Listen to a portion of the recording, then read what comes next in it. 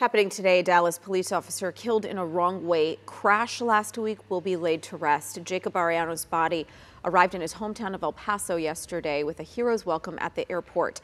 The hearse was then escorted to the local funeral home. There's going to be a funeral mass today uh, with a burial following that. The 25-year-old officer was driving to work on Spur 408 when a suspected drunk driver hit his vehicle. That driver now charged with intoxication manslaughter.